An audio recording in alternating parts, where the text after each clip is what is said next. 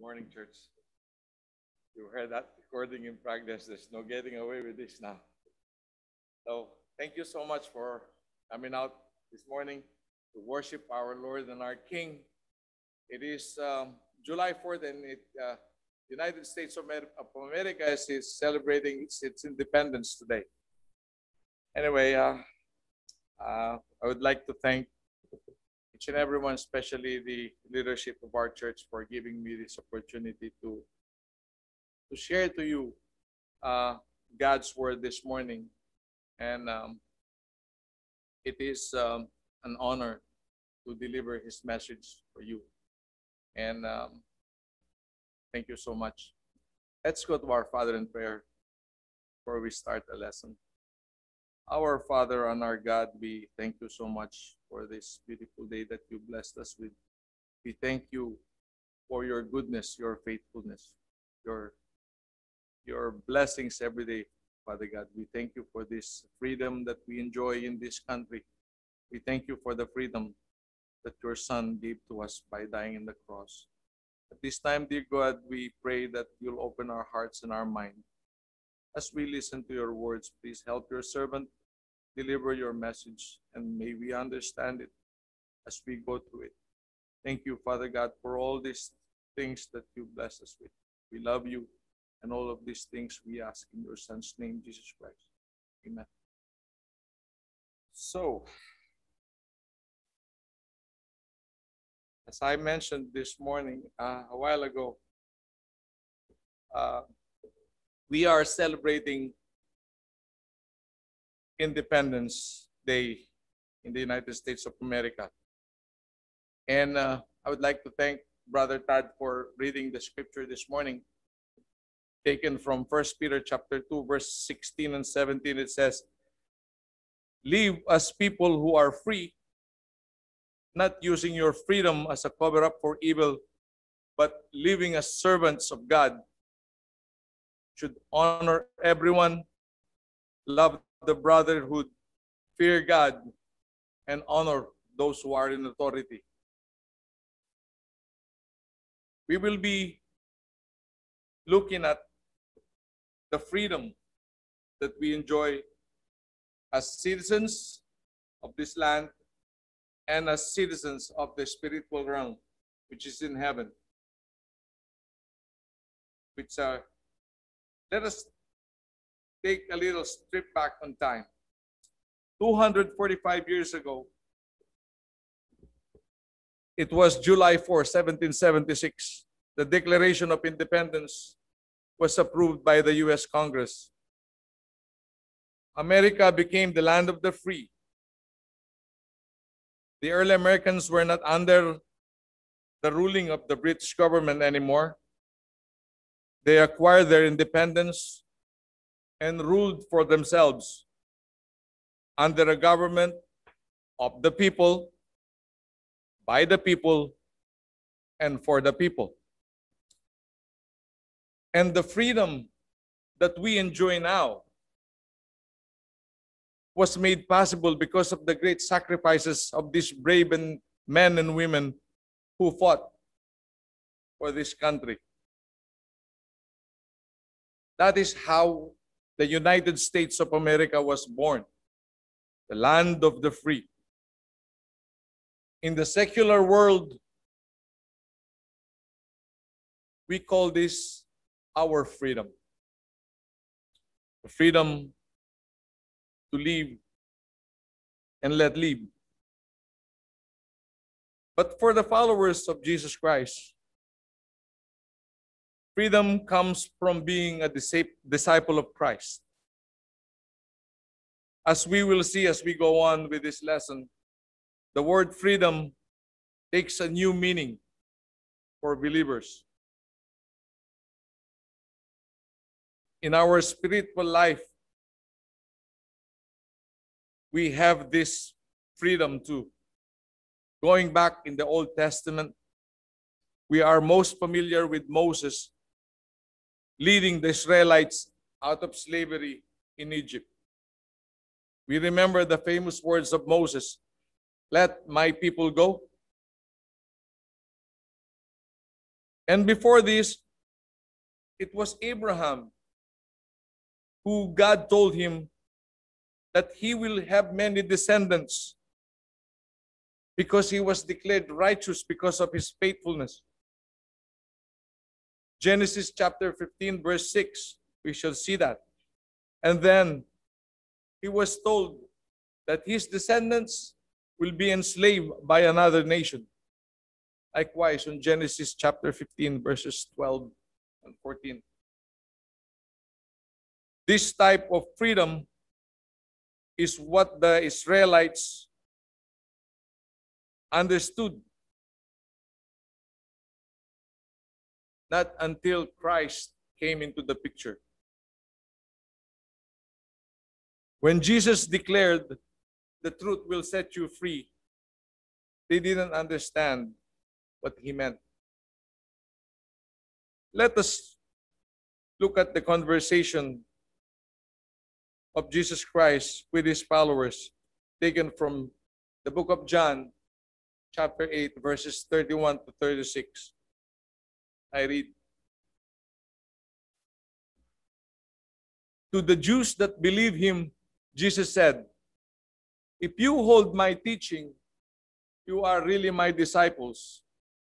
Then you will know the truth, and the truth will set you free. And then they answered him, We are Abraham's descendants, and we have never been slaves to anyone. How can you say that we shall be set free? And Jesus replied, Verily I tell you, everyone who sins is a slave to sin. Now, a slave has no permanent place in the family, but a son belongs to it forever. So, if the Son sets you free, you will be free indeed. Jesus is referencing their culture, their master and slave culture at that time. The Jews thought that being free from working and living as slaves by another nation is freedom. But Jesus is not talking about that. It was their slavery from their sins. It is called spiritual slavery. And they didn't know that.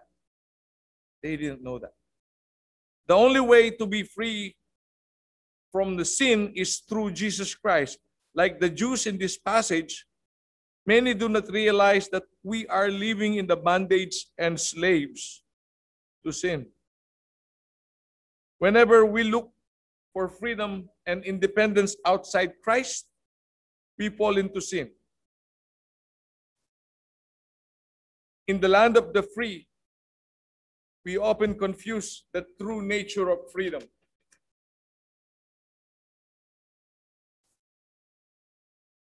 And there are two types of freedom. For many of us, freedom has become synonymous with personal independence. The ability to make our own decisions and choose our own path in life. To do whatever we want, whenever we want it. And that's what we call freedom. It's called outside freedom. That's the freedom that the secular world is providing us. It's not bad though. But this is not the freedom that Jesus promises. When Jesus revealed himself as the Messiah, he said that he had come to earth to proclaim freedom. Luke chapter 4, verse 18.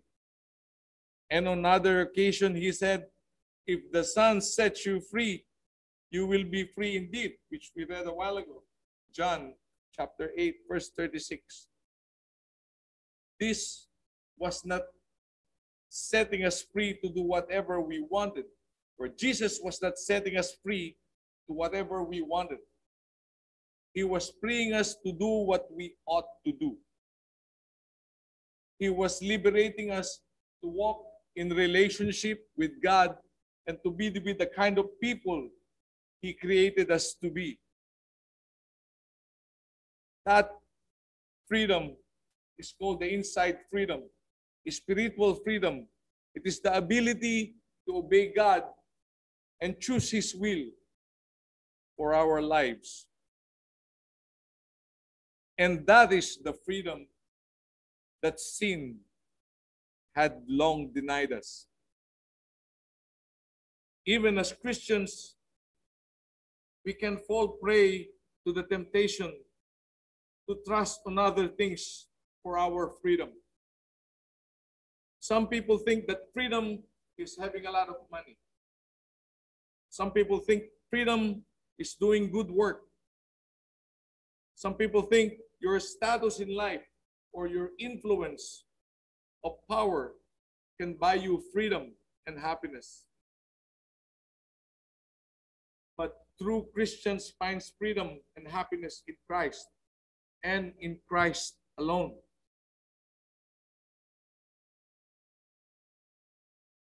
First, let's look at this. When died, when Christ died on the cross, he gave us the freedom from sin and death. Romans chapter 8, verses 1 and 2 says, Therefore, there is no condemnation for those who are in Christ Jesus, because through Jesus Christ, the law of the Spirit who gives life has set you free from the law of sin and death. I was reading the bulletin this morning and I uh, kind of smiled and remembered Brother Rex. Thank you, Brother Rex, for putting up the bulletin this morning. And um, I told him this morning that this is what unity in mind means. We have the same text on the bulletin and the one I put in here. So I think it is not coincidence, but it is the in the unity of mind and in heart. We recognize that. Going back to the text, says, therefore, for those who are in Christ, there's no more condemnation. It means we cannot be, they can't find us guilty of any sin. Condemnation means to be sentenced unto something. Because we have been freed from sin, from the death of Christ on the cross, and by our acceptance as He is our Savior and our Lord. Meaning, the law of the Spirit is life, and the law of sin is death. Obey sin and unbelief, then death follows. But when Christ died on the cross, he took our sins with him. We are no longer held captive by sin. And if we are the disciples of Christ, we are under his authority. Romans chapter 6, verse 14, Paul explains it For sin shall no longer be our master, because you are not under the law, but under grace, which was given by God through the death of his Son on the cross.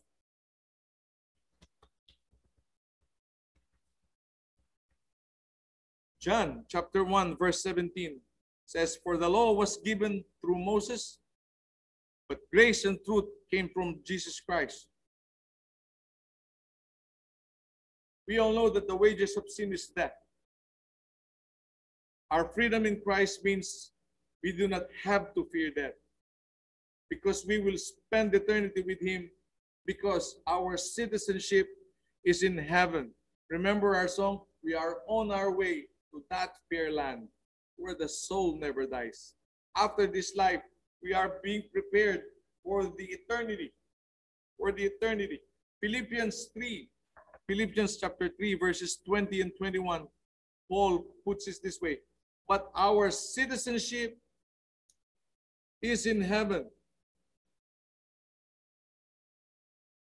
And from it we await a Savior, the Lord Jesus Christ, who will transform our lowly body to be like his glorious body by the power that enables him even to subject all things to himself. While we celebrate America's Independence Day, and we only celebrate it once a day in a year, we get to celebrate our freedom in Christ every day. Every day. For eternity. Remember that. Let us bear in our mind that the freedom that Christ gave us is not a passport to sin. Absolutely not. Instead, we should understand that our freedom is a unique expression allowing us to love God and to love others. Those are the commandments. We are governed by the love of God because God Himself is love. Galatians chapter 5, verse 13 says, You, my brothers and sisters, are called to be free, but do not use your freedom to indulge the flesh. Rather, serve one another humbly in love. Once again, we are governed by the love of God.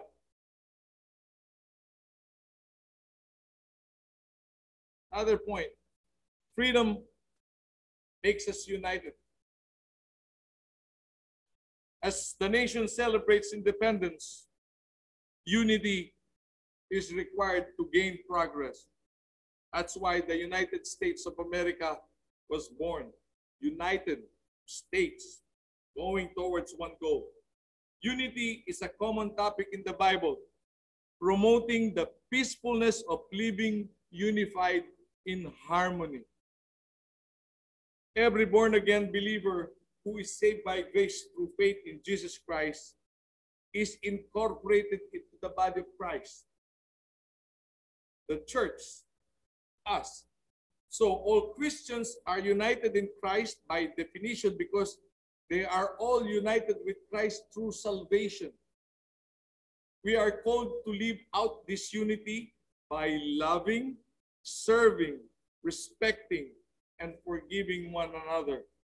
We are to view and treat other born again believers in a matter that reflects the actual oneness our Savior has achieved for us. He died on the cross for that. We share the same heart and mind as we serve the same Lord by striving together for the same gospel. So, being united in Christ means continually striving to live with other believers in a way that reflects the fact that Christ has made us all one in Him. Galatians chapter 3, verse 28, it says, There is neither Jew or Gentile, neither slave nor free, nor there male or female, for you are all one in Christ Jesus.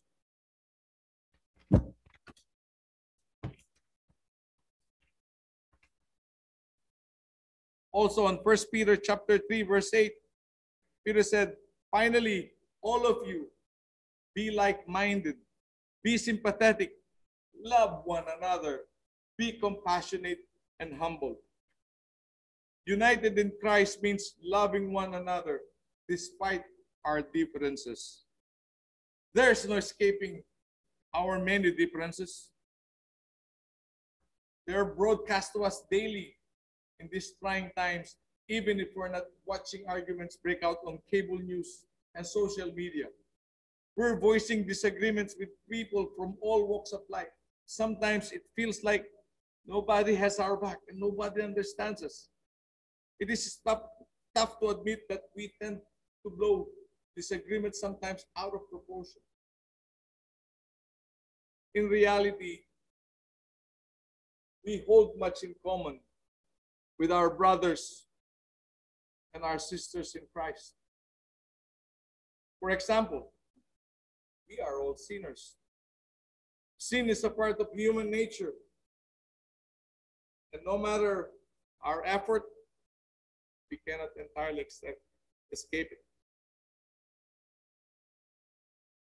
very common sin that we always encounter is being judgmental. Matthew chapter 7, verses 1 to 4, puts it this way when being tempted to judge others. He said, Judge not that you will not be judged. with the judgment you pronounce, you will be judged. And with the measure you use, it will be measured to you.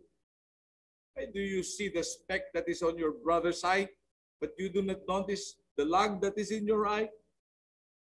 Or how can you say to your brother, let me take the speck out of your eye when there's a log in your own eye?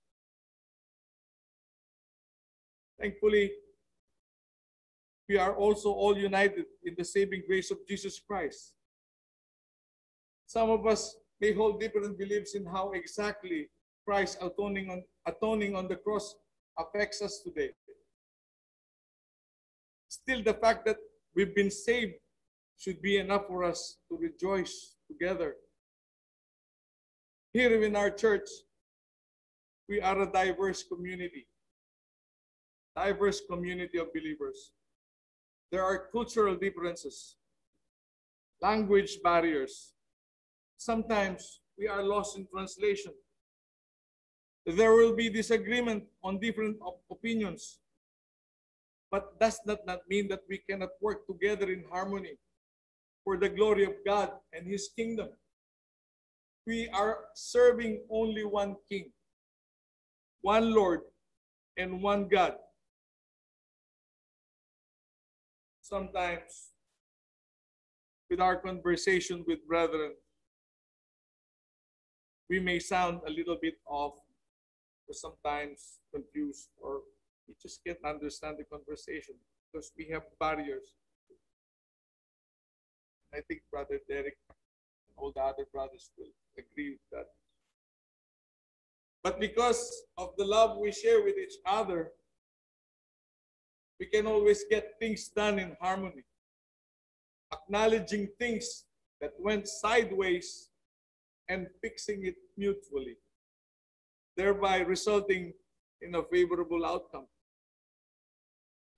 For the mature brethren, thank you for showing brotherly love. You are our model. Though I myself am a work in progress in this matter, and I admit that sometimes can be a piece of work.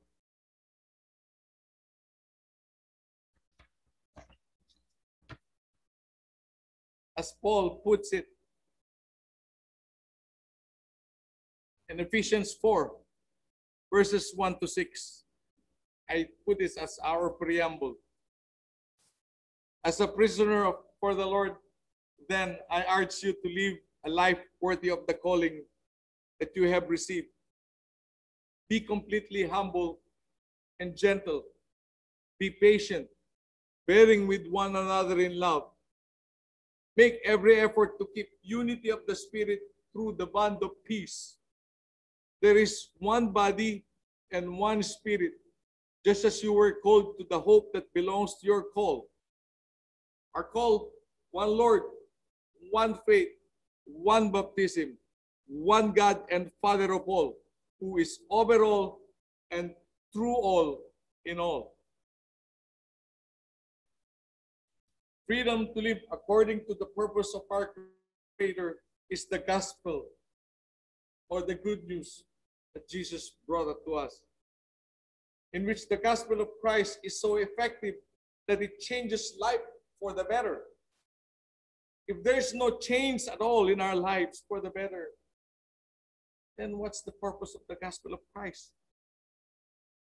What's the purpose of Him on dying on the cross? It Has no use to you. Before we live in darkness, and upon accepting Jesus Christ in our heart as our Lord and our Savior, we stepped in in the light. Being in darkness is as good as blind. But with the light, through Christ, it illumines darkness. The light in us will enable us to determine right from wrong. The light in us will illuminate our way to the path that the Lord wants us to travel. Talking about traveling. Traveling is not always at daytime. We can travel at night. Oh, I remember our travel in Las Vegas, especially when you're on that cruising going to that point, that Barstow, you don't have light, where are you gonna be? But light illumines us. Jesus said it's not gonna be an easy road. For Jesus himself told that there will be trials and struggles. But have no fear, he said, he is always with us. He said, For those who will follow me must deny themselves, pick up their cross daily, and follow me. And follow him. Do what he requires us to do. Being in his character, Jesus is our great model. He is our brother, and he will abide with us wherever and whenever. Luke chapter 9, verse 23. Not, not even that, but he also came to have life, to give us life and have it abundantly. He gave us joy to live. A pe- a pe- uh, he gave us joy to live and peace of mind. He gave us all His creations for us to enjoy and feel His blessings every day. This is not a prosperity gospel. But you know what? The children of God are well supplied. You understand that I know. We are well supplied. David wrote that the Lord is my shepherd. I shall not want. You are a child of God that be lucky. And lastly, being united in Christ, He is in us as we are in Him. Our body is His temple. The tabernacle from the Old Testament, where the only place you could worship the living God, is now your body. We are a piece of the temple of God and being united when we come to worship and all together put together our faith, our gifts, our efforts, our talents, our all in all, we are creating a great tabernacle of God. That's what the New Jerusalem is all about. We are the New Jerusalem. That's why we should encourage one another to attend each and every meeting for fellowship, sharing, learning, studying, working, and serving together, guided by the Holy Spirit.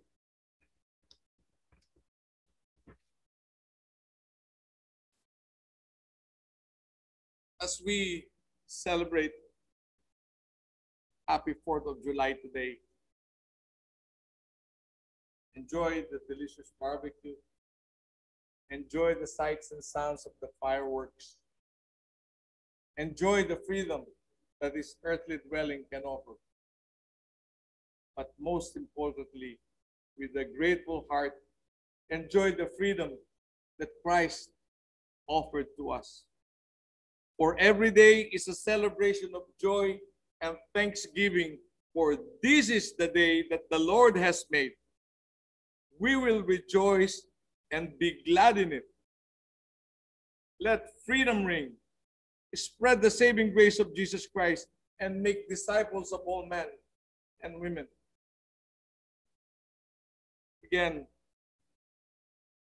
our text this morning. First Peter chapter 2, verse 16 and 17. Live as people who are free, not using your freedom as a cover up for evil, but living as servants of God honor everyone, love the brotherhood, fear God, and honor the king, those who are in authority. You are a Christian and you're falling away. I invite you to come now and come back to God. Repent from your sins and all will be well because Christ already died for us. For those who are tired and weary, hang in there and hold on to your faith. God is good and that He all, always renew our strength day by day. For those who have heard the gospel and are still deciding as whether or not they will accept it, I invite you now, please accept Jesus' invitation. All of the things that we heard this morning about freedom and the unity that brings peace, joy, and fulfillment as an individual and as a church in following Christ, it will surely be given. Just like the song that Brother had sung this morning, we are standing on the promises of God. These are the promises of God that they cannot be broken. And if you decide to accept Jesus today, we have the water, the baptistry available for you. If there are any new prayer requests that should be mentioned, please come and let us know so that we could all pray together. Thank you so much for your kind attention, and the lesson is yours as we stand and sing Song of Invitation.